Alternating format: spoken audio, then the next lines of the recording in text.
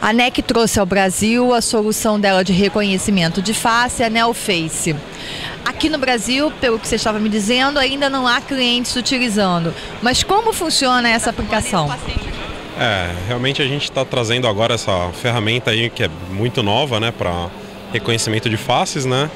E a gente trabalha aí com sinais, uh, a, a, geometria da face, né? Então Uh, a princípio é uma ferramenta que é, é difícil de você burlar em função de a pessoa talvez esteja, esteja, com óculos, com barba, coisas do tipo, porque a gente acaba pegando esses pontos aí de olhos, nariz, boca, né, que, que cada pessoa tem uma característica diferente, né? Você pode demonstrar né, o NeoFace pra gente, por favor? Sem problemas. Uh, bom, eu já estou cadastrado no sistema, né? Então, assim que eu passar na frente da câmera aqui, vai ser possível ver a foto que foi batida no momento que eu passei na frente com a do meu cadastro. Né? Então vamos fazer um teste aqui.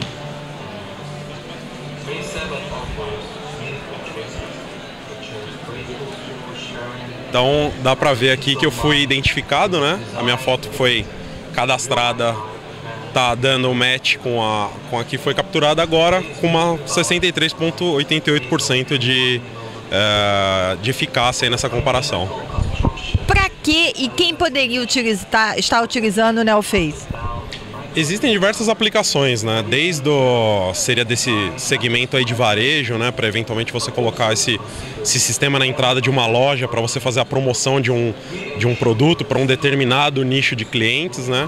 Até aplicações de segurança em aeroportos, você identificar uh, pessoas que estejam talvez numa lista de procurados, criminosos, é, existem diversas aplicações aí que a gente pretende estar tá, é, exibindo no Face. Onde que essa aplicação já está comercial?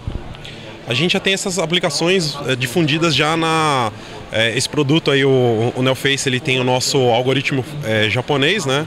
Então na Ásia a gente já tem esse produto aí difundido. Uh, aqui no Brasil a gente ainda não tem, não tem cases, né? Mas estamos trabalhando, estamos trabalhando aí para conseguir emplacar esse produto.